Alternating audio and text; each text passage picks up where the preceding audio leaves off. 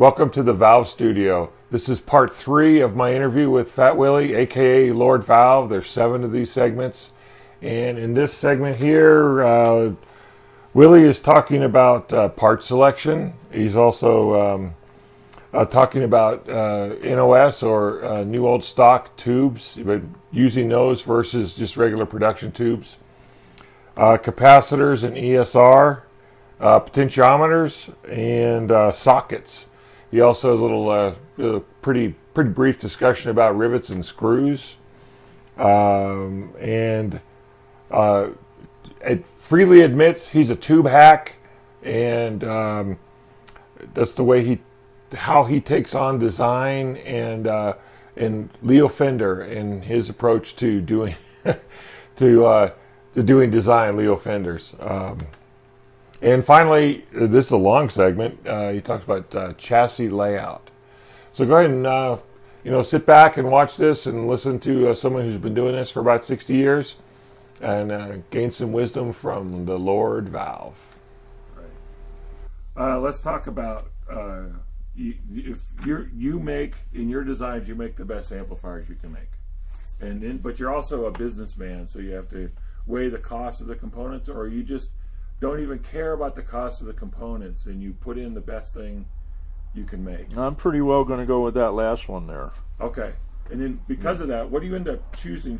well, you, you, talked about mercury magnetic for transformers. Yeah, I like those. And Heyboers. I use a few Heyboers. Is that also for power supply? I would use Heyboer uh, power transformers because they're cheaper mm-hmm. and they're good. Okay. You know, but uh, output transformers, I like Mercury's. I really okay. do. What about uh, what about all the reissue versus a, the NOS for driver tubes or tubes in general? Oh, excuse me a second here. So while he's taking that call, let's go take a look around here at NBS Electronics. Here's the front door on Broadway in Denver. Let's turn around. This is the view you see when you walk in the door. Racks of equipment here. Here's some old audio amplifiers. That's a Hafler 500. I built one of those when I was a junior in college. I still have it. On this shelf here looks like it's transformers, a bunch of power transformers, output transformers, probably some chokes as well.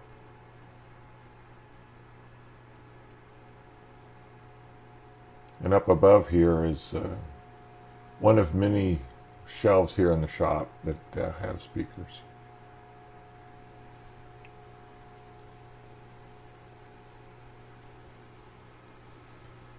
Here's what kind of looks like a Hall of Fame. People have come in and signed their promos. Gave them the Willie, and he's got them posted over here on his, on his bulletin board. And there's a picture of Dick Dale.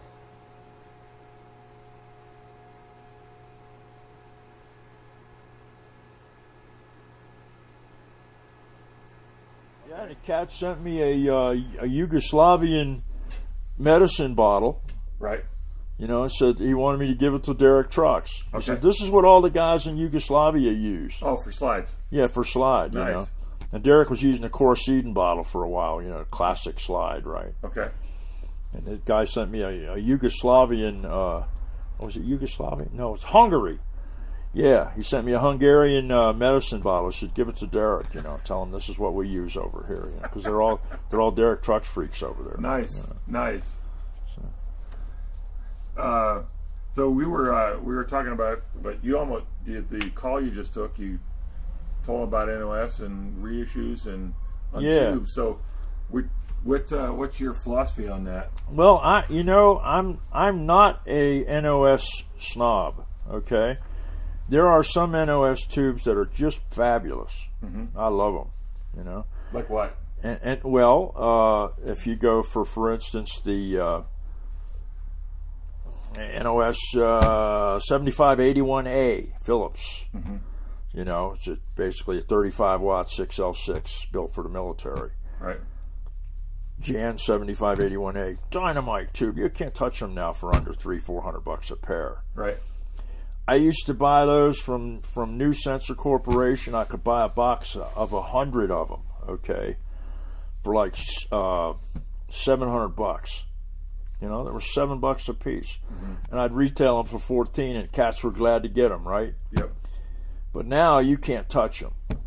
They just can't find them. You can't can find, them. them, They're, no. they're, they're, Now, uh, new sensor, Mike Matthews is building a uh, 7581 under the Tung-Sol label, and I, I, I got to hand it to him. Now, most of the stuff in that line that says Tung-Sol is mm-hmm. excellent. okay. Really good stuff.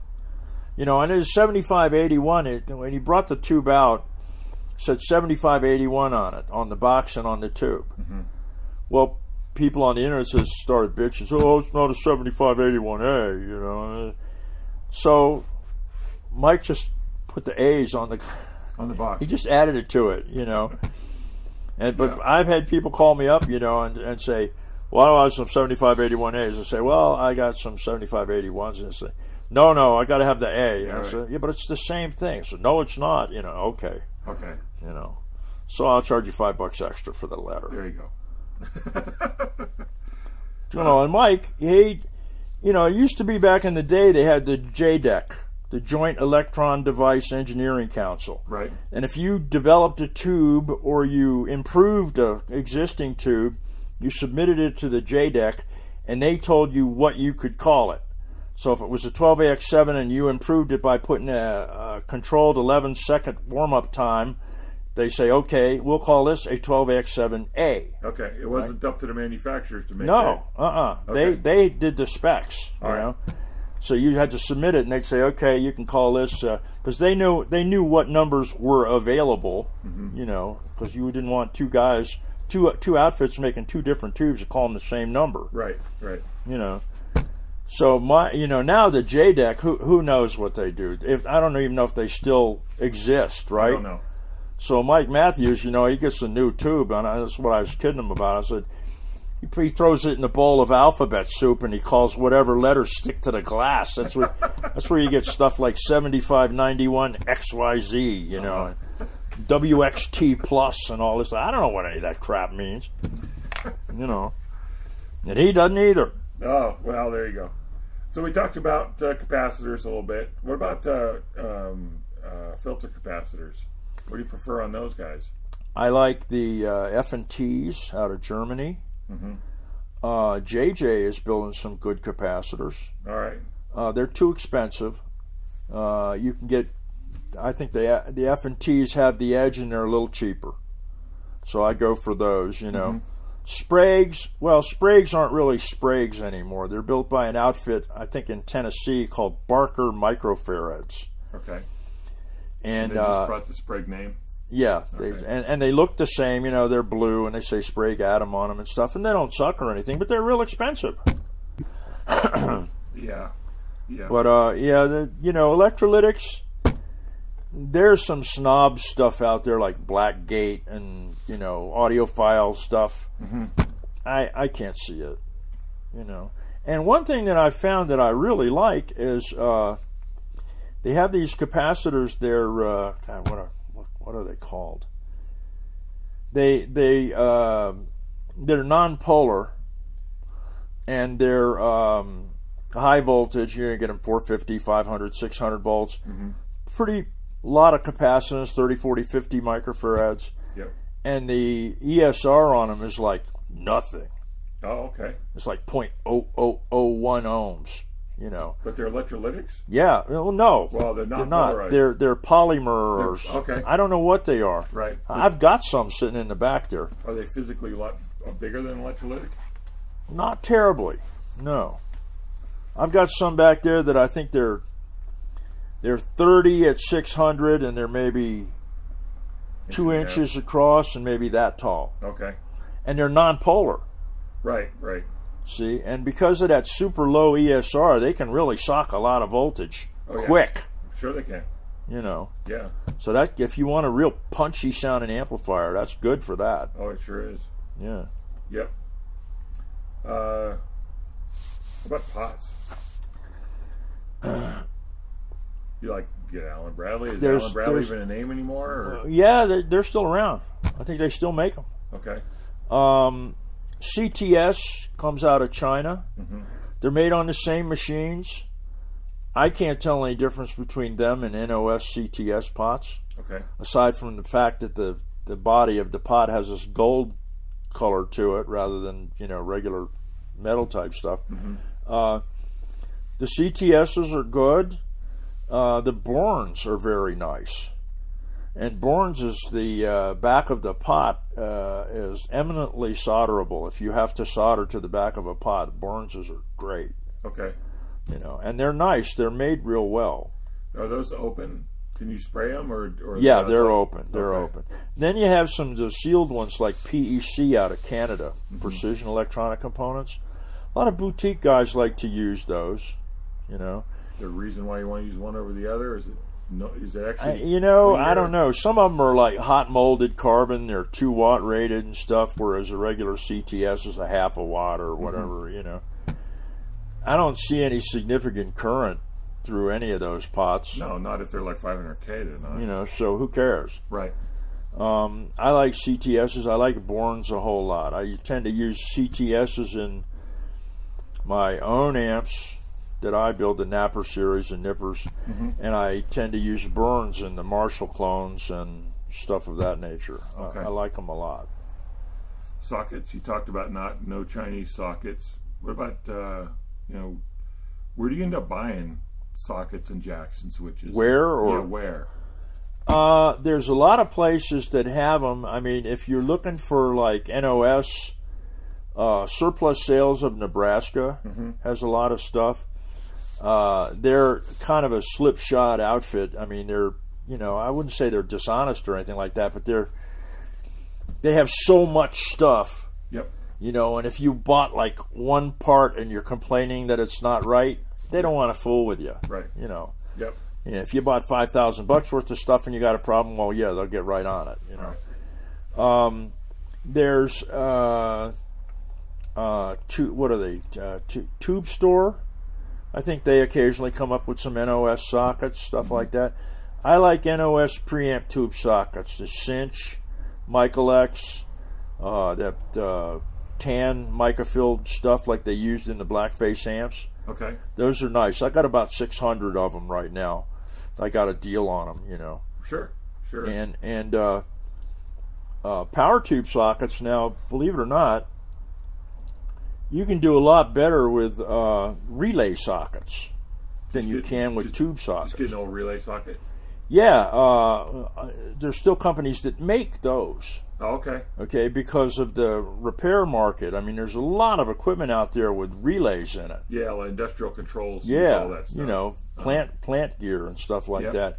And Omron is a Japanese company. They make a dynamite octal socket. and it's still mountable Really? inside a, ch- a chassis. Drops right in. Oh, oh, good, good. That I didn't know that part of it. Yeah, you couldn't put that one in a fender uh, unless you want to hog the hole out a little bit. Yeah. But uh, Marshalls, stuff that use the bigger, you know, looking ones, Mm-hmm. it drops right in. How do you hog holes out?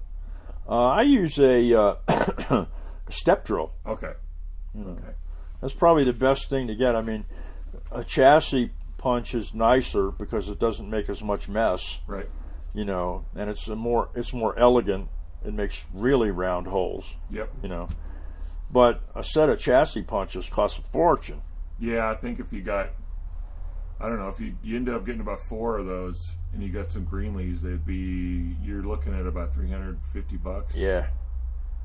And I and I have uh, a couple of chassis punches, but the the sizes I have are for punching holes for Leslie connectors Oh, because I used to do a lot of Hammond work. yeah. Yeah, those don't those aren't they don't map to anything that you use now. Yeah, you know the they're actually the same size as an octal, Mm-hmm. but the dimensions are, are different. Okay. You know, you rivet stuff? You rivet no, sockets in? never. I hate riv- I hate rivets. because they come loose, or No, because everything everything breaks, man. and you just want maintainability for Yeah, everything. when it breaks, I don't want to sit around drilling out a damn rivet. That's like you know Ampeg. Uh, you get like Ampeg V4, and they riveted the damn tube sockets in. right. okay? And the rivets go through the tube clamps. Well, if you want to put something different in there instead of 70 27s, for instance, you want to put 65 50s, Mm-hmm. well, you have to drill out all the damn rivets to get rid of the tube clamps because the tube clamps cannot be smacked flat enough to keep from impacting the tube base. Oh, got it. You know, so you got to drill all that out, and it's a pain in the ass. I mean, why didn't they just use screws? I, I, I just want to know what you thought about it, and your your philosophy is it's gonna it's gonna need maintenance if you want to keep it. Yeah. And all the stuff you're making now, working on now, people are proud to have it, and it will, it will always need to be worked on. Yeah, everything breaks. Yep. Everything. Um, do you design any A2 or AB2 amps? to drive the No. drive the grid. And I'm not really sure you can call me a designer. I'm, you- an, I'm an old tube hack guy, man. I was a technician in the Navy. But you but you don't go look up a fender schematic and copy it directly. Uh, if somebody wants that, I do. I know, I know, but, but when you design something, you you go, you don't, you pull from your knowledge and piece it together. You don't make a clone of your for your own designs. Well, I might take a stage out of a fender and say, well, this is perfect the way it is. That's what I want. Boom. Right. It's like legacy code for for for guys, programmers. You know, Yep. they say, well, they put this hunk of le- legacy code there. Nobody even thinks about who wrote it. Right. Does it still work? Yeah. Okay. So you know, and uh, if you want to be technical, that's what Leo Fender did anyway. Where do you get his He stuff? got that stuff out of the RCA receiving tube manual. Them old uh, Williamson circuits and Yep. you know all that stuff. right. I mean, because Fender, let, us face it, Fender A didn't play the guitar, Mm-hmm. and B he was a TV repairman, Okay. or radio repairman. Right. Right. You know, So he you just, what he was good at was making a guitar amp that would last basically forever and sound great. Whether he designed it or not is kind of problematic. You know, he made it. Do you think that they iterated towards more different sounds, or was there actually a, a lot of, uh, like what you said, he did, didn't design it per se? Was he? Did he have enough knowledge to actually know what he wanted to tweak on the next version Yeah, to the point where he knew a little? Yeah, and he used to. Uh, he didn't play the guitar at all, and he used to. He, he could hear, you know, stuff. He knew what he was trying to hear, and he'd listen to speakers. He'd listen to tubes and stuff, and he'd twang his guitar open strings, and it used to drive the people in the in the shop crazy. okay. You know. So finally, somebody tuned his guitar to an open chord of some some sort, so it would sound. And mine, which is sitting right behind me, Yep. it's tuned to an open ninth. Oh, okay. I can twang it. That that's that's my next question actually. Um, uh, how do you do your final checkout here? Uh, I, ha- I I listen to it myself with my single chord twang guitar, which I can bar up and down the fretboard, you know, Yep. to get listen to different pitches. With your Hungarian Like- whiskey bottle? Yeah, well, I don't use that, you know. Uh, and you know, I can I can hit it and I can listen to it. I can see how it sustains. I can see whether it's got a lot of harmonic swirl to it. Is it on the verge of feeding back, which is real nice. Guitar players love that, you know, because it adds to the sustain and stuff. and then I'll have one of my guys that is a dynamite player, and I have I know some guys that are incredible players. Right. Come in and play it, you know. This is for this is during your design phase, Yeah, right? I want to see what it sounds like. Okay. And and uh, but you how typically how much tweaking do you do while you got the guitarist in here? Not much. Okay. And I'm more interested in seeing what it sounds like now. Mhm. You know, and then I'll think about what I heard, and I say, well, you know, if I change this here just a little bit, Yep. you know, maybe that'll go where I want it to go. You know, and then after I mess with the the amp for a while, you know, a couple weeks maybe, I'll, maybe I'll put it away and I'll just let it sit for a while. Mm-hmm. You know, and then I'll listen to it with fresh ears. Right. you know. I'll say, hey, I'll call them up, say, hey, Mitch, you know, or hey, whoever, come on in and play us, you know, let's let's see what it is. What kind of criticisms do they give? What do they tell you? What kind of things do they say? Guitarists ain't terribly expressive, you know. I mean, you, you, if I can get a that sucks, You know, that's good. Okay. I like that. Yeah. you know, that sucks. Okay. You don't like it. Let's see what the next guy says. So you, do you do multiple people on a particular design? Just- Sometimes, just- yeah. okay. But sometimes when I get it done, you know, and and I don't have a hell of a lot of designs. I got maybe three or four, Yeah. you know, and and uh, and out of those, you know, the output stages are pretty well close to being fenders. Right. You know, there's not that many ways to do an output stage. You know, it's a preamp is what I like to mess with.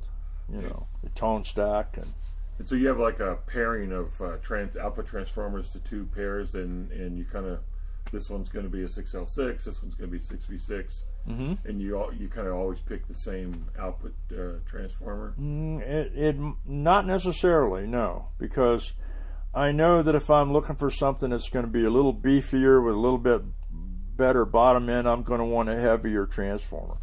Mercury makes a transformer that's designed for uh, uh, deluxe reverb. Mhm. It's huge. I mean, it's it's like this wide. You know, Wow. the laminations are that long, that wide. You know, it's you make just absolutely it's, it's obscene looking. you know, How do you make? How do you plan for that in your cabinet? uh, now that I got to lay out. You know, Right. I got to see how it's gonna.